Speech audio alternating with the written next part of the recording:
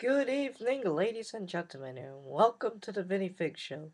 My name is Vinny Figs. Tonight, I'll be talking to you about college sports. Now, college sports is just a sport. Well, you may know what a sport is, like basketball, baseball, soccer, etc., etc., etc. But this is a new type of sport, college sport. And this is where college schools could play all the sports that I just mentioned. Now, for this weekend is a big weekend. It's the Final Four for the men's and women's basketball tournament. Now, for my bracket, well, I was completely off, but I missed it by this much. I had Duke and Miami for playing for the uh, NCAA championship. Now, I'm, I'm kind of upset because Duke, uh, Duke almost had it.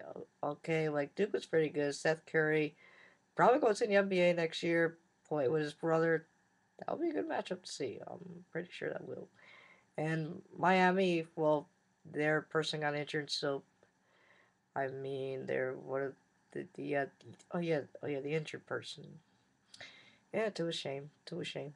But uh, yeah. So so now it's Wichita's kicking off Saturday at four o'clock on CBS will be the Final Four preview show, and Greg Gumbel and the guys will talk to you about the big games.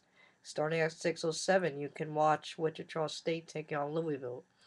then at 8.47, you can see Michigan taking on Syracuse.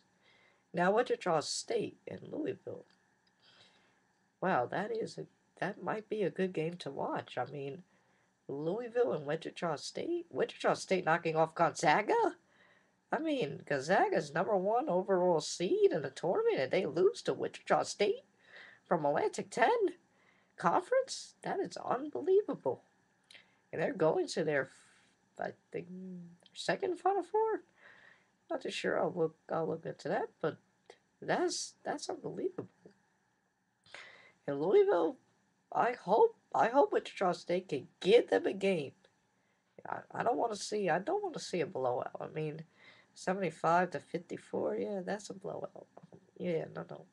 Maybe like, maybe like five or uh, by two or something.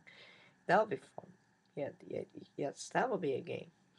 Now, second matchup, Syracuse and Michigan. Uh, man, that's that's gonna be a game too. Michigan has like the Fab Five with Jalen Rose and Glenn Robinson and Chris Webber. Now they have Trey Burke, Tim Hardaway, Glenn Robinson Jr. That's and Syracuse has Carter Williams, Triche, and some other guy. I mean, they have a good roster, and and I would like to see for the final Syracuse taking on Louisville for the Big East finale, and both of these I don't know where those teams. I think Syracuse is going to ACC, which that would be a good challenge, and they will challenge Duke and Miami and North Carolina. So that'll be an interesting year for this season. Um, so for tomorrow, we'll probably talk about something that's going around, or will there will be a special. I don't know. It's a secret. Uh, thank you for watching, and have a good night.